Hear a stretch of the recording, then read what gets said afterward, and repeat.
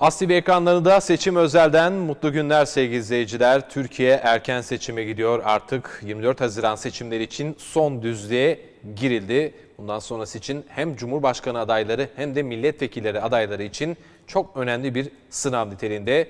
Bu kritik eşiği geçen partiler ve adaylar da Türkiye'nin yeni siyaset dönemine damga vurmaya devam edecek. Bu akşam önemli bir ismi, önemli bir konu, önemli ve deneyimli bir siyasetçi stüdyomuzda konuk ediyoruz sevgili izleyiciler. Çalışma ve Sosyal Güvenlik ve Sağlık Eski Bakanı, AK Parti Bursa Milletvekili Doktor Sayın Mehmet Müezzinoğlu stüdyo konumuz. Sayın Müezzinoğlu hoş geldiniz. Çok teşekkür ediyorum. Sağlıklı yayınlar diliyorum. Bizler de sizlere diliyoruz. Yoğun bir seçim temposundan geldiniz buraya. Evet, Karacabey'den günlerdir- geliyoruz. Evet, Evet. Karacabey'den geldiniz. İlçelerde özellikle yoğun bir çalışma yürütüyorsunuz. Nasıl gidiyor 24 Haziran seçim yoğunluğu? Öncelikle onu öğrenelim sonra diğer sıcak konulara geçelim. Seçim atmosferi her zaman olduğu gibi e, siyasi partilerin e, arazide çok yoğun olduğu bir süreç.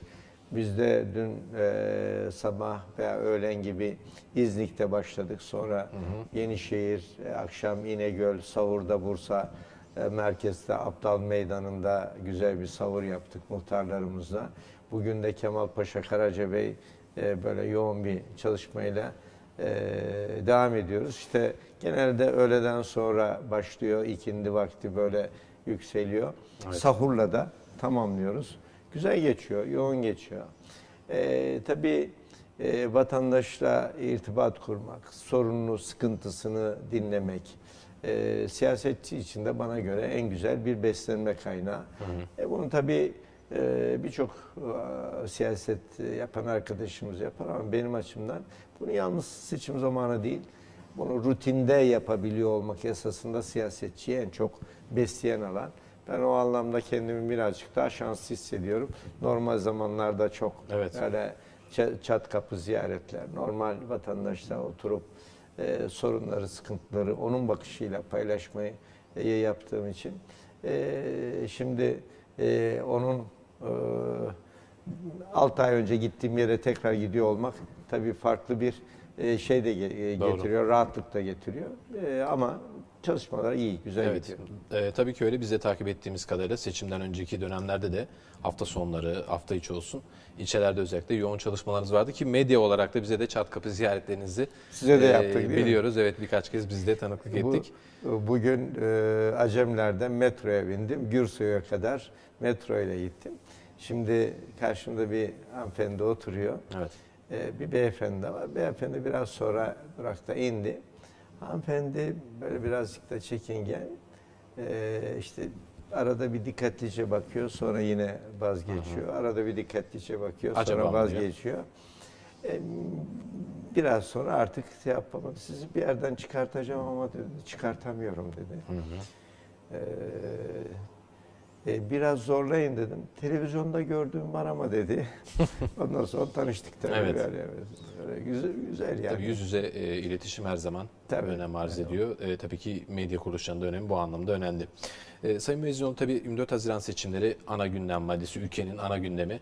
Ne zaman iki kişi ya da üç kişi yan yana otursa acaba 24 Haziran'da ne olacak diye birbirine soruyor. E, Cumhurbaşkanlığı seçimiyle başlayalım. Sizin tahmininiz nasıl olur? Birinci turda iş biter mi? İkinci turda farklı bir senaryo mu ortaya çıkar? Şimdi tabii birinci tur, ikinci turdan önce bana göre bu seçimler Cumhuriyet tarihimizin önemli e, bir tarihi dönüm noktası. Yani Cumhuriyetimizin kuruluşu, tabii ki bağımsızlığı, bu milletin e, geleceğe e, dimdik, e, başı dik, alnı açık geleceğe umutla bakmasının çok önemli bir e, dönüm noktası Evet. e, Cumhuriyet'in kuruluşu. Ama ikinci e, millet adına e, o gün e, 23 Nisan 1920'de daha kurulmadan e, ilk meclis toplandığında egemenlik kayıtsız şartsız milletindir sözüyle başlayan e, büyük önderin sözüyle başlayan vizyon e, 1950'ye kadar e, bu o, milli iradenin arzu edilen dinamikleri kuruluş döneminde yeterince şekillenemedi. Evet. Sonra çok partili döneme girdik 1950'li yıllarda. 50'li yıllardan bu 24 Haziran kadar olan süreçte de çok partili dönemin millet olarak çok önemli e, kazanımlarını elde ettik. Yani Menderes döneminde, Demokrat Parti döneminde çok önemli kazanımlar var.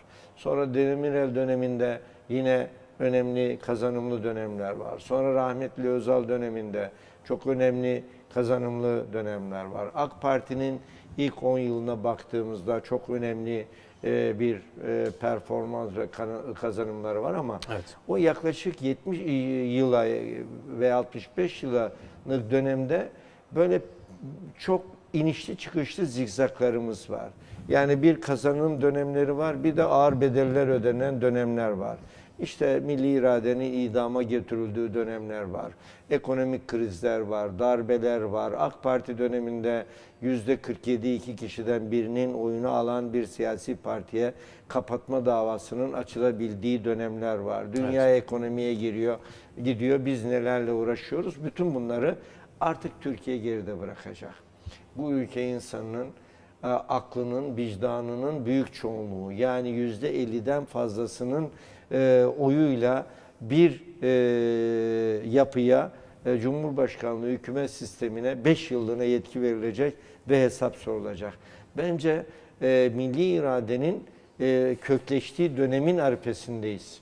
Ve görüyorsunuz hiç yan yana gelmesi ihtimal dışı olan siyasi partiler bile işte ittifaklar kuruyor, Evet. ortak hedeflere yanaşıyor. Niye? Artık milletin geleceği merkezde. Partiler artık ben diyemiyor. Biz demek zorunda. Partiler artık biz diyemiyor. Millet demek zorunda. AK Parti kurulduğu günden beri başarılı olmasının nedeni zaten ben veya partim biz değil. Önce millet demesidir. Bakın geçen 1 Kasım seçimlerinde bize yüzde 49,5 müthiş bir rakam. Müthiş yetiyor yüzde 49,5 Evet. 1 Kasım. Ama bugün biz bu seçimlerde yüzde 49,5 aldığımız zaman bize yetmiyor. O zaman güçlü olan kim? Millet. Milletin gözü- gözünün içine daha güçlü bakacağız. Milletin derdini daha iyi anlayacağız ve milletin umutlarını daha güçlü bir şekilde geleceğe konsantre edeceğiz. O nedenle AK Parti kendisi için zor olsa bile millet için doğru olduğuna inandığı ve gelecekte Büyük Önder'in muasır medeniyet seviyesinin üzerindeki o hedefe güçlü, istikrarlı ve hızlı gidebilmenin arifesindeyiz. O nedenle bana göre ilk tur, ikinci tur bunlar ikinci planda. Tabii ki seçim önümüzde bunu yok. yok. Ama esas bizim gelecek 20'li, 50'li, 100'lü yıllarımıza bu milletin büyük hayallerine hizmet edecek sistemdir. En büyük kazanımız kazancımız olacak. Evet. Şimdi bugün yine e, Millet İttifakı yeniden parlamenter sisteme döneceğiz gibi açıklamalar yapıyorlar. Bence kendi ayaklarına kurşun sıkıyorlar. Çünkü bu millet geleceğinin hangi güçlü yapıda olduğunu aklıyla, vicdanıyla okuyabilen bir millet. Bir yıl önce referandumda da bunun gereğini yaptı. Kararını verdi. Dolayısıyla burada önemli olan biz daha geniş tabanlı büyük hedefleri nasıl şekillendirebiliriz? Bütün siyasi partiler önce ben demeden, biz demeden millet demek zorunda. 80 milyonun asgari yüzde 70'inin vicdanında aa ya burada büyük hedefler var dedirtebilmek zorunda. İnşallah bu önümüzdeki süreç bu anlamda önemli bir başlangıç olacak. Ben Türkiye'mizin ve ülkemizin geleceği adına çok umutluyum ve bu sistemin inşallah çok büyük başarılarını gelecek nesillerimize kazandırmış olacağız. Evet. Ama sandık bu tabii. Yani neticede e, 17 yıldır 2001'den beri bir siyasi parti, 2002'den beri iktidar, 2003'ten beri diyelim çünkü e, Aralık ayını saymazsak 2003'ün ocağından bu yana yani 16-17 yıldır iktidar olan bir siyasi partiyiz. Çok zorlukları milletle beraber aştık. Bugün burada bu kısa programda saymaya gerek yok. Millet hep beraber yaşayarak açtık az önce dediğim gibi. İşte size bu Cumhurbaşkanı seçtirtmeyiz. Yüzde e, parlamentoda 363 milletvekilimiz var. Size milletvekili seçtir. Diyen kim? Millet mi diyordu AK Parti sen Cumhurbaşkanı seçemezsin diye? Cumhurun başkanını seçememe iradesini, seçemezsin iradesini AK Parti'ye millet mi koydu? Yoksa kendine güç vehmedenine odaklar mı koydu? Bunlar artık ortadan kalkacak. Bütün bu sıkıntıların bedellerini hep millet ödedi. Evet. O nedenle inşallah ben e, seçimlerin ilk turda e, Sayın Cumhurbaşkanımızın e, kazanımıyla sonuçlanacağını AK Parti olarak sonuçlandıracağımıza inanıyorum. Evet. Aa, ama tabii bu milletin vicdanıdır. Ben bu millete inanan ve güvenen hiçbir zaman kaybetmedi. Ben ister özel hayatımda e, bir ülkeden bir ülkeye ceket alıp da gelmiş bir vatandaş olarak diyorum. Bu millete hiçbir zaman güvendim, hiç kaybetmedim. Ne özel hayatımda, ne iş hayatımda, ne siyasi hayatımda. E, yine millete inanan ve güvenen bir AK Parti yine kaybetmeyecektir. Recep İktidar Tayyip olacaktır. Erdoğan çizgisi de zaten millet mer- merkezli. İnşallah 24 veya 25 Haziran sabahına daha güzel bir güne uyanacaktır. Daha umutlu bir güne uyanacaktır Evet. milletimiz. Tabii e, Sayın Cumhurbaşkanı Recep Tayyip Erdoğan çok güçlü bir siyasi figür. E, AK Parti'nin lideri olması itibariyle e, Cumhurbaşkanı sıfatını da taşıyor. Cumhurbaşkanlığı seçimi için e, işin tamam olduğu ama AK Parti açısından mecliste sıkıntı olabileceği şeklinde bazı değerlendirmeler de oluyor ki Sayın Cumhurbaşkanı'nın da mitinglerde de yaptığı bir uyarı var. Hani sadece Cumhurbaşkanı'na vereceğim, AK Parti'ye oy vermeyeceğim şeklinde bir anlayış e, işimizi bir anlamda e, rayından çıkarır şeklinde bir mesaj veriyor. Sizin Ben değerlendirmeniz ne öncelikle olacak? tabii ona geçmeden önce Sayın Cumhurbaşkanımızdan e, söz açılmışken 11 Haziran haftaya pazartesi günü Bursa'da Sayın olacak. Cumhurbaşkanımız Bursa'da olacak E, ve tüm Bursalıları Bursa ve ülke adına vereceğim mesajları e, bizzat kendisinden dinlemek üzere davet ediyorum. Şimdi bu tabii yine muhalefetin çaresizliğinin bir e, toplum arasında e, işte ya nasıl olsa biz Recep Tayyip Erdoğan'la baş edemiyoruz. E, o zaman ikinci alternatife gidelim. Ülkeyi yine krize sokacak veya sıkıntıya sokacak, e, e, milletin kafasını karıştıracak. Ya orada veririn ama işte e, mecliste de kontrol edilsin, e, işte e, gücü dağıtın gibi mesajlar vermeye çalışan e, bir anlayış bu. Ben bir defa Sayın Cumhurbaşkanı'nın vizyonuna e, arkasında güçlü duran bir iradenin onu parlamentoda zayıf bırakma ihtiyacı olduğu kanaatinde değilim. Böyle düşüneceğini de e, hiç e, gözlemleyemiyorum. Yani onu da söyleyeyim. Ama tabii bu neticede bazen milletvekili aday listesine reaksiyon, bazen Evet. belirli konularda e, ki düşüncelerle e, işte e, farz edelim binde birlik, ikilik öyle bir e, kanaat gelir ama e, binde birlik, üçlük, beşlik de bir başka nedenle o açığı kapatır.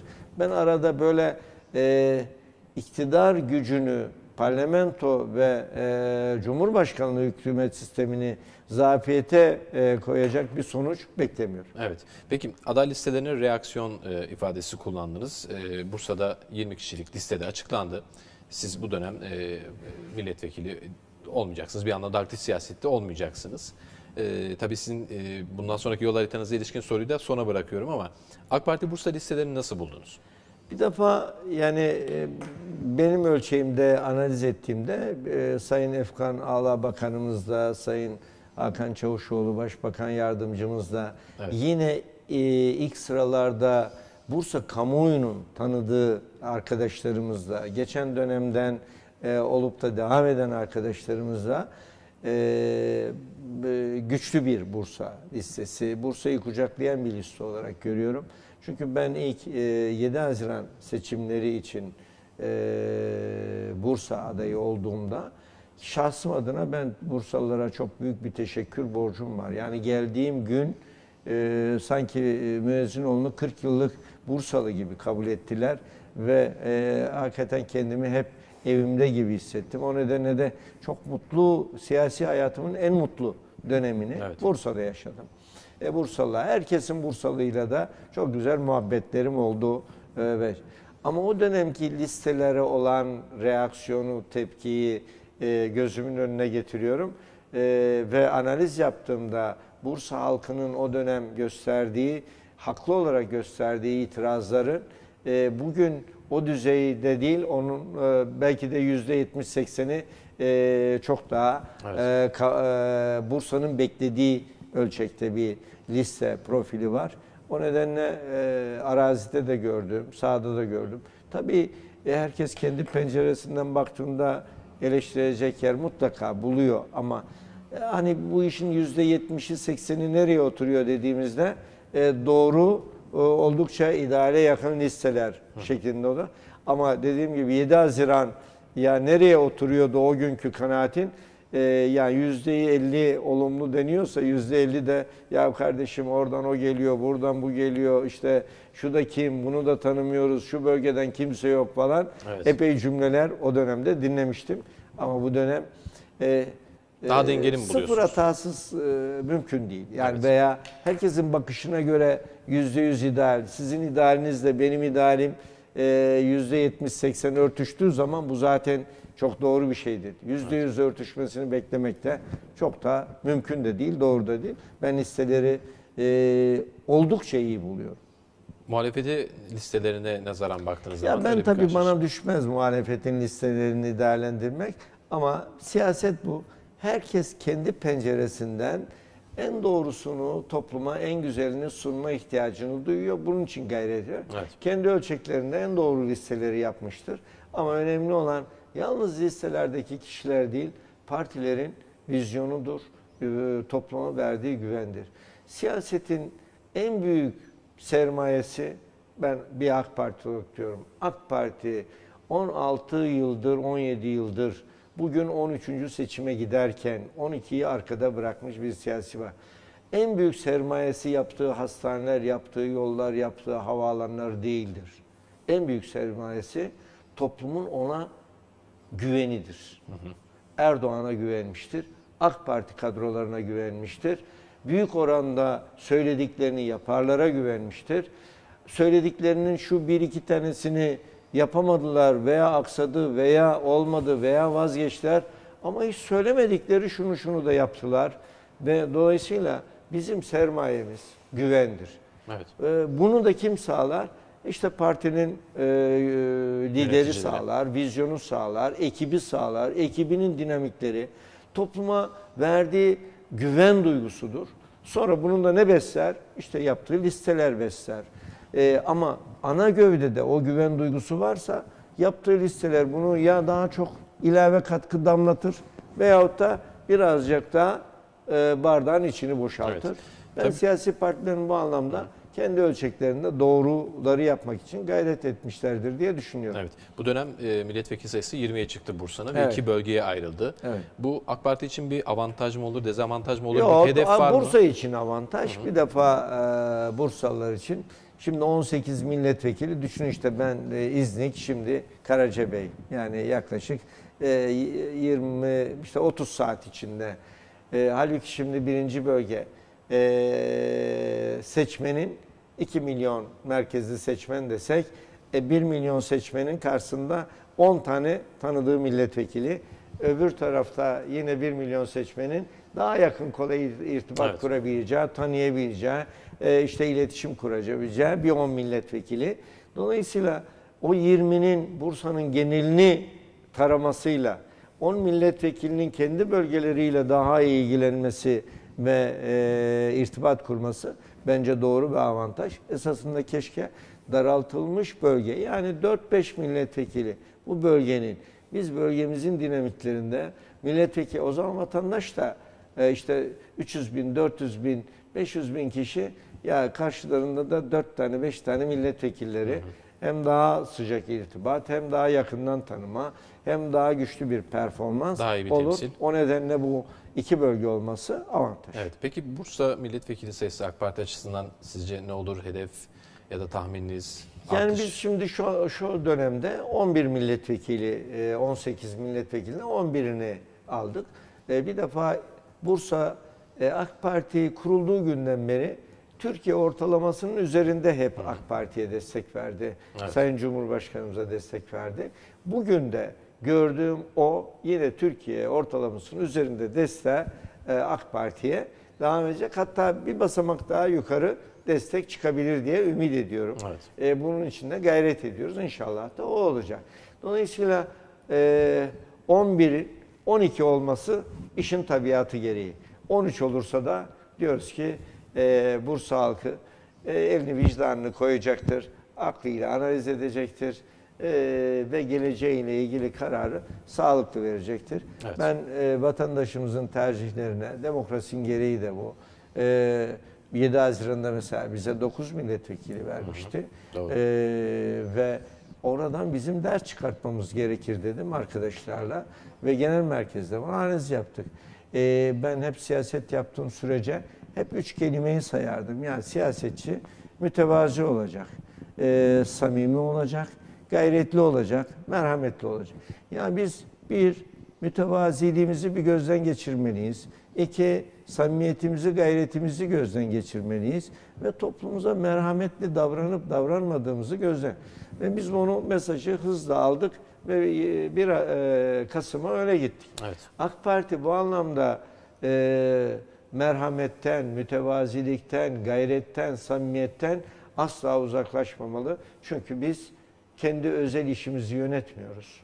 Orada bile olmamız gereken budur ama tüyü bitmemiş yetimin, bugün doğmamış yarın doğacak nesillerin bile milletin verdiği iktidar dolayısıyla o nedenle sorumluluğumuz var. Evet. Ve yaptığımız her eksiklik veya tembellik veya gevşeklik nesilleri yaşayan insanımıza ve gelecek nesillerimize be- bedel ödetiyor. O nedenle e, ben milletimizin vicdanına yeniden teslim oluyoruz. Bu vicdan terazisi ben e, çok sağlamdır ve o vicdan terazisini ben çok seviyorum. Oradan gelecek olanın da başımızın üstünde yeri var. Peki. Ee, geçelim Cumhurbaşkanlığı seçimlerine. CHP'nin adayı Sayın Muharrem İnce. Ee, özellikle son günlerdeki FETÖ iddialarıyla, e, Fethullah Gülen'in iadesiyle ilgili FETÖ elebaşının e, ve keza Sayın Cumhurbaşkanı'nın Pensilvanya'da FETÖ lideriyle görüştüğü şeklinde AK Parti'nin kuruluşu sırasında iddiaları var. Bu iddialar tabii AK Parti cephesinde sert bir tepkiyle karşılandı. Hatta Sayın Cumhurbaşkanı tazminat davası da açtı. E, Gülen'in iadesiyle ilgili dosyayı da CHP heyeti inceledi. E, bu konudaki düşüncenizi merak ediyorum. Ya ben üzülüyorum. Yani bu Cumhuriyet Halk Partisi'ni anlamakta da açıkçası zorlanıyorum. Bir kurucu iradeye e, Büyük Önder Mustafa Kemal Atatürk'ün vizyonuna bakıyorum. O zor koşullarda bu genç cumhuriyeti kurarken e, sonraki dinamiklerine bakıyorum. Dünyaya meydan okuyuşuna bakıyorum.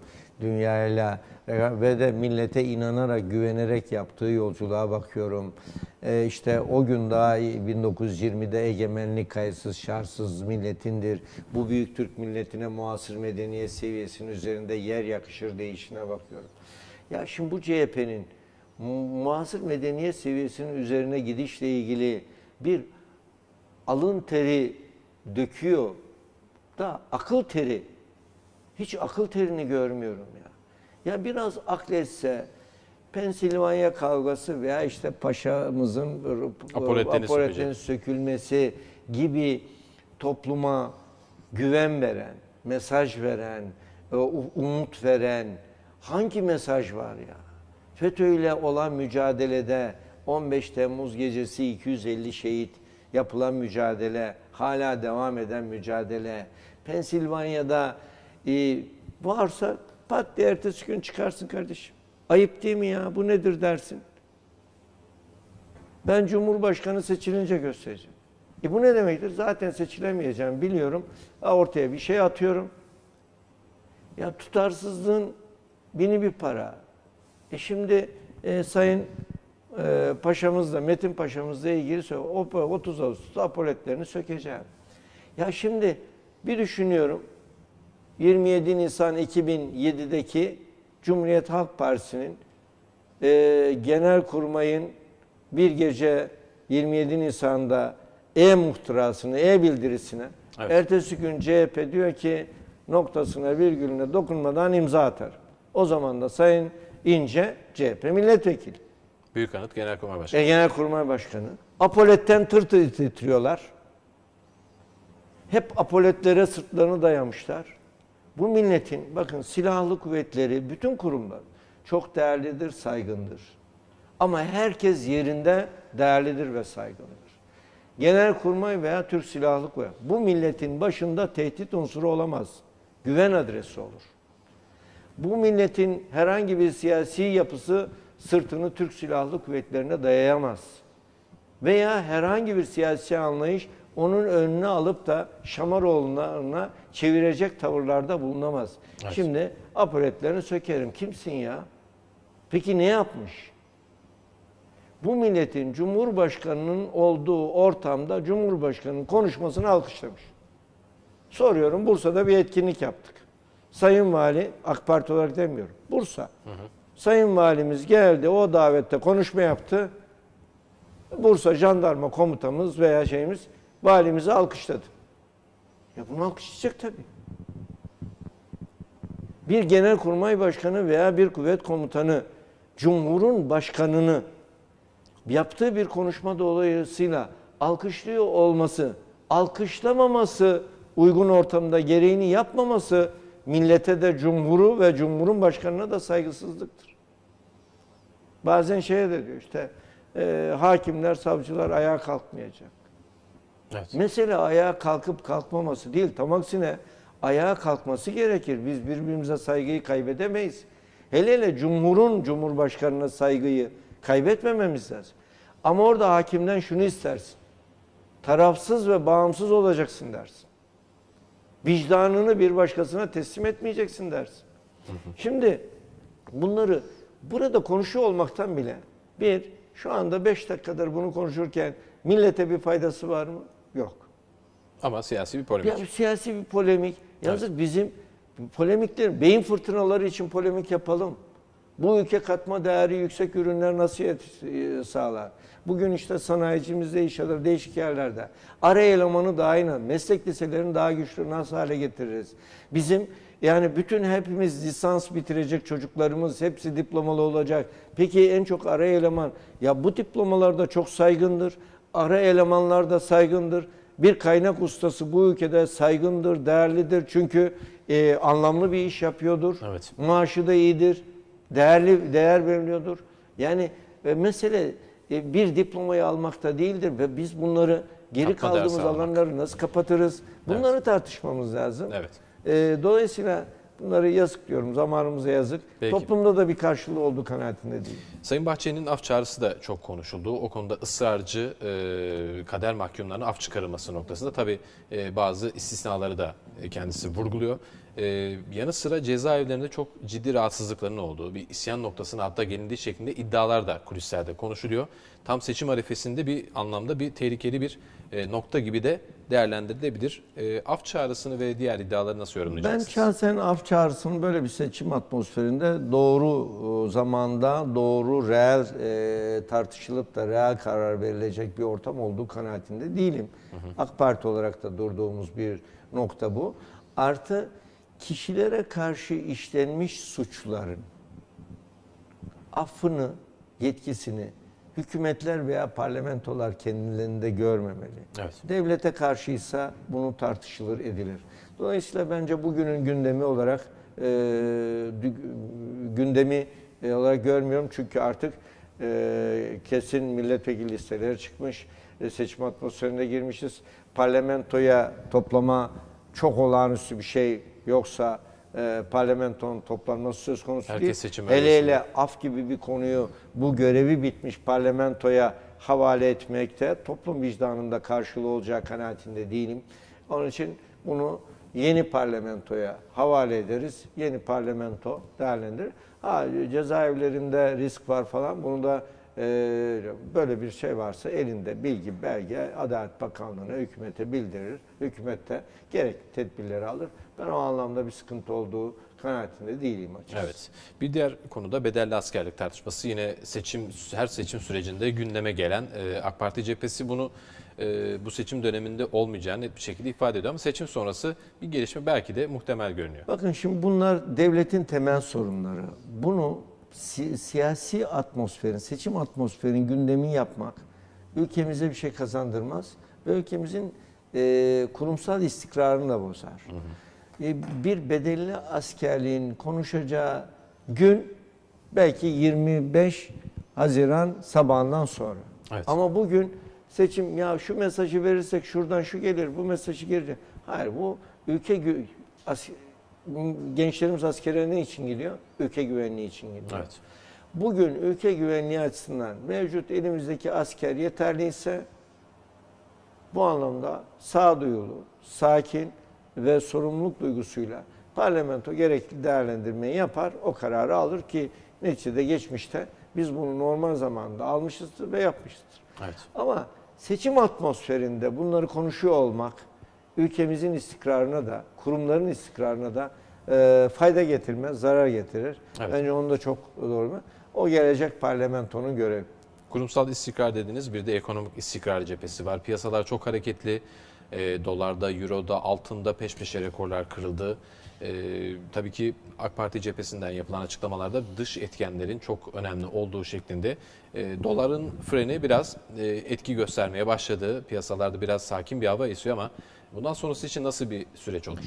Bence tabii özellikle son 2-3 yıldır yani buna e, işte 17-25 Aralık'ı alalım. Sonrasında işte seçimler, e, peş peşe gelen seçimler, özellikle 15 Temmuz ayın darbe girişimi, Güneydoğu'daki o çukur terör e, olayları, Rusya ile olan kriz, yani Evet. ekonomimizin üzerinde son 3 yıla baktığımızda, 4 yıla baktığımızda çok zorlukları olan bir ekonomik süreci yaşadık.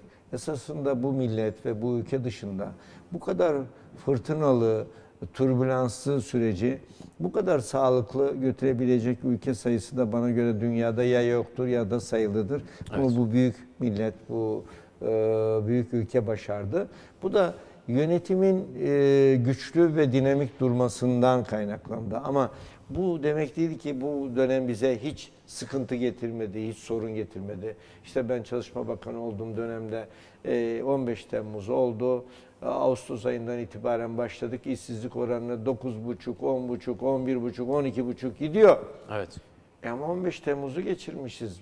Çok 250 şehit Olağanüstü vermişiz. bir Yani olağanüstü bir durum. Ama hemen Ocak ayında bir seferberlik hemen hızla 10.5'lara kadar tekrar geri çektik. Artı istihdam dedik, teşvik dedik, şey yaptık.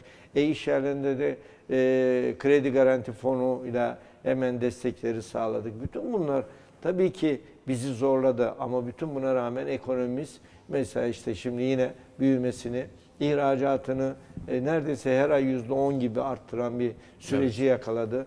Ama e, buradan e, şöyle söyleyeyim. Yoğun bakımdan çıkan bir hekim olarak kolay örnek oluyor. Yoğun bakımdan çıkan bir hasta bir süre hastanenin normal servislerinde tedavi almış. Müşahede altına alınır. Sonra da ya iki ay kendine dikkat et, altı ay şuna şuna yeme, işte şuna e, aman ha bir sorun olursa. Hani, Kontrolünü bu- bu- Şimdi bizim bütün bu fırtınalardan sonra e, 2011'in ekonomik koşulları veya 2013'ün ekonomik koşulları e, yani bu fırtınalardan sonra. Şimdi biz bunları yeniden istikrarlı, güvenli işte büyümeyi yakaladık. E, hele hele seçimlerden sonra bir de istikrarı e, ve güveni iyice oturttuğumuzda dışarıdaki manip- manipülasyonlar. Türkiye'yi zayıflat, ben Batı'nın, Avrupa'nın güçlü bir Türkiye'yi asla istemediğine inananlarım. Asla da bunu ha ne güzel ya büyüyorsunuz biz de sizin büyümenize yardımcı olalım diyeceklerini beklemek bana göre biraz saflık da olur. Evet. Bizim büyümemizden dünyanın ilk 10 ekonomisi arasına giriyor iddiamızdan tabii ki birçok ülke rahatsız. Bunun için bazen e, bu kredi derecelendirme kuruluşlarını, bazen değişik enstrümanları kullanıyorlar, kullanacaklar. Bundan sonra da devam edeceklerdir. Ama bu millet büyük bir millet. Bu millete güvenen ve istikrarlı güçlü bir yapı bu fırtınalarında üstesinden, türbülanslarında e, içinden çıkacak ve inşallah 25'inden sonra istikrarı yakalayacağız. Tabii ki doların, ve faizlerin getirdiği bir yük var. Evet. Önümüzde zorluklu bir süreç var. Ama biz bir ya kapasitemizi iyi bilirsek, kapasitemizi doğru kullanırsak ve e, geleceğe ait hedeflerimizden vazgeçmeden geri geldiğinde de fedakarlık yaparak e, yani bu yıl karımız az olsun. Ama mücadelemiz azalmasın. Yenilmemek lazım. Evet. Yani o nedenle süreç zor bir süreç ama umutlu ve güven dolu bir süreç olarak görüyorum. Ee, işte 25'ine kadar birkaç manipülasyon daha Muhtemel. olabilir ama öyle veya böyle e, dövizde bir şey e, beklemediklerimiz oluyor. İşte petrol geçen yıl e, varili 40 dolarken şimdi 80 dolara geliyor. Bütün bunlar da Uluslararası ilişkilerde de gerginlikler, gergin. çok ciddi gerginlikler Ama söz e, konusu. işte bugün Amerika ile yapılan görüşmeler bir yoluna girdi. E mesela vazgeçmedik. Ne Afrin operasyonundan vazgeçtik. Bizi böyle tünele sokup aman orada da ses çıkarmayın. Ne Memmiş'ten vazgeçtik. Bakın dediğimiz noktaya öyle veya böyle Amerika ile aynı geliyorlar. Yani o büyük ülke olmak e, kolay değil. Yeri geldiği zaman zorluğa, tehdit, tehdide direnmeyi de bileceksin. Tabii, her şey bir insanlık Öyle olmaz. çok kolay değil. Evet. Hele hele muasır medeniyet seviyesinin üzerindeki hedef iddiası tabii ki birçok Batı ülkesini, gelişmiş ülkeyi de korkutuyor ve titretiyor. Evet. Tabii terörle mücadelede kritik bir süreçteyiz. Ondan da bahsettiniz. Ee, Kuzey Irak'ta Kandil'deki e, terör kamplarına, terör hedeflerine çok ciddi bir yaklaşım gösterildi, yaklaşıldığı. Ee, belki de yakında Kandil'de Türk bayrağı dalgalanırsa bu da e, sadece iç dengeleri değil dış dengeleri de herhalde alt üst eder. E bu bir defa bu ülkenin milletin kaderiyle, ülkenin birlik ve beraberliğiyle, bütünlüğüyle, e, sınırlarının değişmez yapısıyla oynamak isteyen kim varsa kaybetmeye mahkumdur. Evet. Bugün olmaz yarın ama şimdi geldiğimiz nokta yani Afrin tuzağı da, Menbiş tuzağı da, Kuzey işte e, Suriye'de oluşturulmak istenen hatta Kuzey Irak'ta oluşturulmak istenen yapıda bizi tehdit ediyorsa biz ona müsaade etmeyiz. Şimdi Kandil öyle veya böyle hak ettiği dersi alacaktır. Ama bizim ülke içindeki terörü e, özellikle son iki yıldır yapılan, iki buçuk yıldır yapılan mücadele neredeyse yüzde doksan artık e, ülke içindeki gündemi güvenli bölge. Güneydoğu'nun her köyüne artık rahatlıkla gidebilen ve orada bu milletin bayrağını dalgalandıran süreci yakaladık. Ve ne mutlu bak Sayın e, İnce gitti Hakkari'de Türk bayraklı miting yaptı. Evet. Bu son dönemde CHP'nin en başarılı e, aksiyonudur bana göre Hakkari'ye gitmek. Evet. Peki Sayın Cumhurbaşkanı pazartesi Bursa'ya gelecek. Bursa programı ilgili bilgiler netleşti mi? Nerede miting yapacak? Size ulaşan bilgiler. Şimdi e, yanılmıyorsam saat 16-17 e, sularında ikinci miting olarak gelecek. E, e, akşam da bir STK'larla iftar programı e, olacak. STK'lar organize ediyor. E, e, tabii e, bütün Bursalıları da mitinge bekliyoruz. Pro, miting programları zaten rutindir. Yani Sayın Cumhurbaşkanımızın e, Bursa'ya ve e, Türkiye geneline vereceği mesajlar. Evet. Ama akşam STK programı da en az onun kadar önemli. Miting- Orada birazcık daha belki Bursa özeline daha çok değinilecek Evet. e, bir e, iftar programı olacaktır. E, miting alanı olarak Atatürk Stadı Meydanı mı görünüyor yoksa E, stadyumun olduğu Evet. o, o alan. geçen? Geçen yıl yaptığımız yer. Peki. Şimdi son sorumuz sizinle ilgili. Sayın Mezunon'un acaba 24 Haziran'dan sonraki yol haritası ne olacak? Aktif siyasete bir anlamda e, ara mı vereceksiniz, veda mı edeceksiniz ki veda biraz zor görünüyor e, sizin deneyimleriniz açısından. Bundan Ben sonra tabii, neler yapacaksınız? e, Bursa halkı da okumuştur. Benim e, insanımıza karşı tavrım hep e, samimi, kendime saygım, onlara saygım gibi. Hep samimi ve dürüst. Ama ya geçen gün böyle demişti de siyasetçi bu, öyle de olur, böyle de olur cümlesinin muhatabı. Bugüne kadar olmadım. İnşallah bundan sonra da olmam. Bir defa 1992 yılında aktif olarak girdim ve 26 yıl oldu. Ee, ve siyaseti hep bu ülkeye, bu millete, bu bayrağa bir borç ve sorumluluk olarak yaptım. Hep şunu dedim, Ya Rabbi ülkeme ve milletime e, e, karşı üstlendiğim sorumlulukların hakkını da hesabını da verebilmeyi bana nasip et. Ve o, o dua ile yaptım. Bugün de o noktaya geldim. Ama gençler yapmalı. AK Parti'nin üç dönem kuralı vardı. Bunun doğru olduğuna, koyuluş aşamasında da fiilen çalışmalarda olduğum için doğru bir kuralın arkasında durmak için de müracaatımı yapmadım. Samimi niyetim gençlere devretmek, bırakmak. Arzu ediyorlarsa tecrübelerimle onlara destek olmak. Yani mutfakta veya danıştıkları her konuda. Ee, resmi bir sıfat, siyasi sıfat taşımayı arzu etmiyorum. Yani e, bir Mehmet Müezzinoğlu, işte ne sayarsan say, eski şu, eski bu, eski bu. Dün akşam İnegöl'de saydım. eski İstanbul İl Başkanı, eski İstanbul Milletvekili, eski Edirne Milletvekili, eski Bursa Milletvekili, eski Çalışma Bakanı, eski Sağlık Bakanı, eski Genel... Ya bunların hepsi gelip geçici. Evet. Ama kalıcı olan nedir? Senin insani duruşundur, senin toplumsal vicdanla olan bütünleşmendir. Bunu koruyarak bir ömür sürmek istiyorum. Evet. Ama ülkem ve milletim adına resmi sıfat olmadan nerede ne görev düşüyorsa da bugüne kadar kaçmadım. Bundan sonra da kaçamam. Çünkü o zaman kendime, e, ülkeme ve milletime karşı soru suçlu hissederim. Evet. E, ama özel arzum e, yani artık biraz müezzin ol- olmak istiyorum. Tabii Sayın Cumhurbaşkanı'ndan bir kontra e, gelmesi atak. Yani o millet adına, ülke adına ise de başımız e, kıldan ince deriz. E, Evet. Görevimizi yapmaya çalışırız. Peki. Bizler de e, Bursa için, bu ülke için yaptıklarınız adına sizlere teşekkür ediyoruz. Konumuz olduğunuz için de Ben ayrıca de teşekkür As ediyoruz. TV'ye özellikle sizin şahsınızda tüm e, yöneticiler, arkadaşlara, buradaki muhabir arkadaşlarımla çok güzel bir üç buçuk yıla yakın dönem geçirdim. Evet. Ee, çok insani, vicdani anlamda güzel hukuklarımız oldu, dostluklarımız oldu. Bursa ile olan hukukum e, çok e, beni manevi tatmini çok yüksek oldu. E, ben tüm Bursalılara e, şükran borcum var, teşekkür borcum var. CHP'lisinden MHP'lisine yani e, hakikaten her kesimiyle çok güzel bir e, diyalogumuz oldu. E, sur, sürçülisan es- ettiysek affola. Ama bir Mehmet Müezzinoğlu olarak da bir Bursalı gibi bundan sonra hep Bursalı hemşerilerimizle bir arada olmaya gayret edeceğim. Peki. E, varsa e, no hatalarımız affola diyorum. Peki çok teşekkür ediyoruz tekrar. Sağlıklı yayınlar, de izleyicilerimize e, hayırlı Ramazanlar, hayırlı bayramlar. Ülkemizin ve milletimizin yarınları bugünden daha güzel olacaktır. Hiç tereddütleri olmasın.